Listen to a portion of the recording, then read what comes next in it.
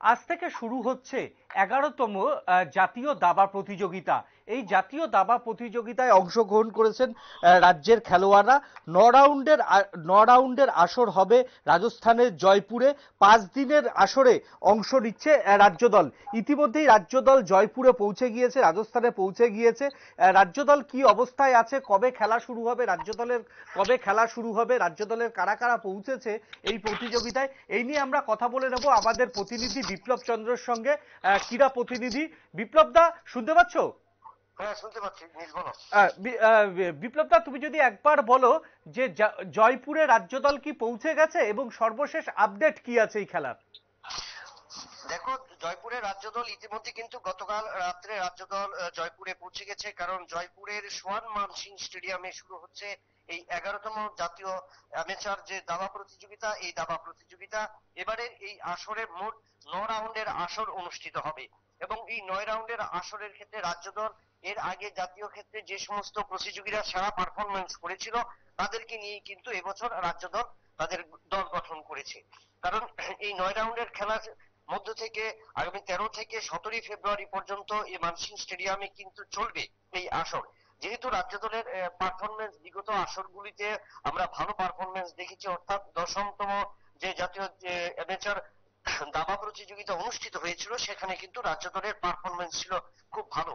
সেখানে রাজ্য দল খেলোয়াড়রা কিন্তু দ্বিতীয় রাউন্ডেও ভালো করেছে, পঞ্চম রাউন্ডে ভালো করেছিল এবং ষষ্ঠ রাউন্ডের ক্ষেত্রে কিন্তু রাজ্য দলের তৃতীয় স্থান পেয়েছিল। তবে এবছর রাজ্য দলের ক্ষেত্রে উমাশঙ্কর দত্ত এবং মেঘনাথ দত্ত অংশ নিচ্ছে এবং দুজনকেই কিন্তু নিয়ে রাজ্য দল সম্পর্কে বেশ আশাবাদী রাজ্য অ্যামেচার দাবা অ্যাসোসিয়েশনের তারা। কারণ এই দুজন কিন্তু বিগত আসরেও কিন্তু তাদের সেরা পারফরমেন্স পরিলক্ষিত করেছে।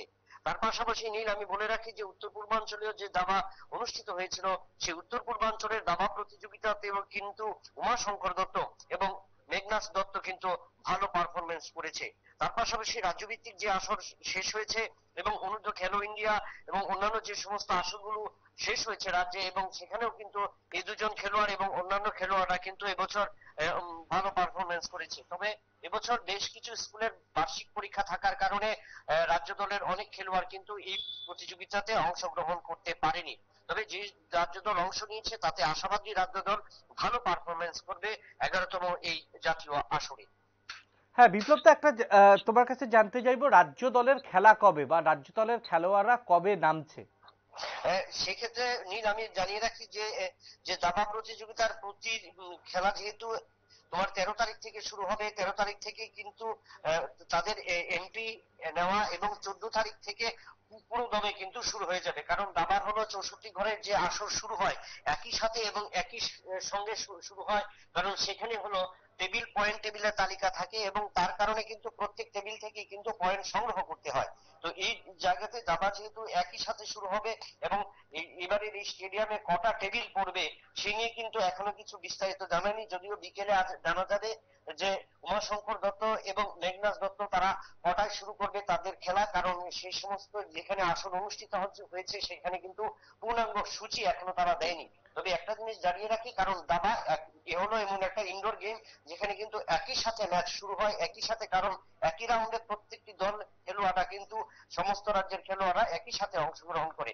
কারণ প্রথম বেলাতে প্রথম প্রথম রাউন্ড এবং দ্বিতীয় বেলাতে দ্বিতীয় রাউন্ড হয়, তো সেক্ষেত্রে যেহেতু ন রাউন্ডের খেলা হবে সেখানে পাঁচ দিন সময়, তো শুরু থেকে কিন্তু প্রথম রাউন্ডের খেলাতে সব দলকেই অংশ নিতে হবে এবং সেক্ষেত্রে রাজ্য দলের দাবাড়ুরাও কিন্তু এই রাউন্ডে অংশ নেবে, নীল।